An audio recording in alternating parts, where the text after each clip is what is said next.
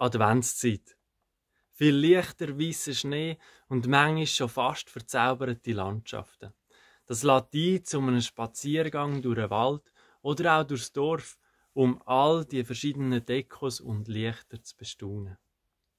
Man sieht wunderschöne Weihnachtskrippen, schön verzierte Hausfassaden und überall Lichter.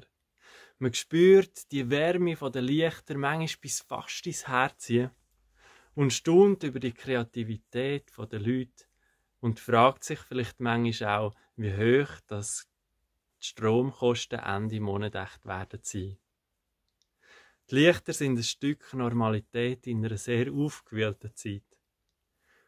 Die Lichter laden ein, auf sie zu schauen und für einen kurzen Moment einfach stehen bleiben, an nichts anderes mehr zu denken und den Moment zu genießen. So schön kann Adventszeit sein. Und dann ist der Abendspaziergang fertig. Das Handy läutet und man erwacht aus den Gedanken oder man muss endlich wieder an die Arbeit und muss etwas machen. All die Lichter und der Glanz in der Adventszeit haben etwas Packendes an sich, doch der Alltag meldet sich zurück. Der Moment vom Genießen ist vorbei und du merkst, dass die Sorgen und die Ängste und Probleme in deinem Leben ja vielleicht sogar ganz tief in deinem Herz innen immer noch da sind.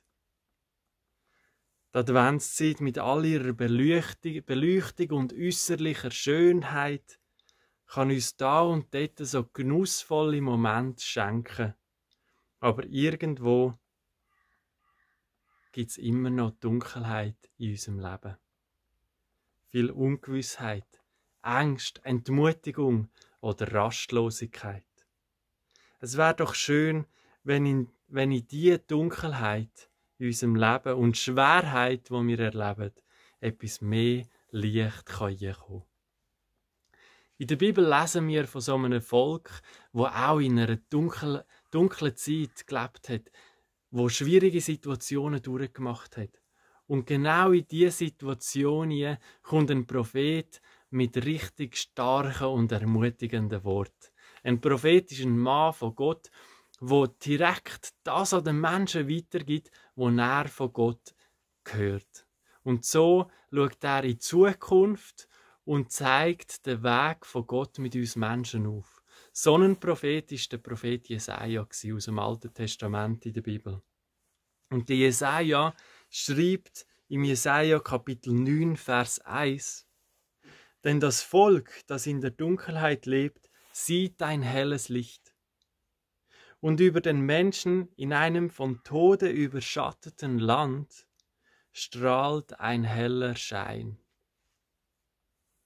Auf das, wo der Jesaja hier vorausschaut, die Zukunft schaut, das ist an der allerersten Weihnacht Realität geworden.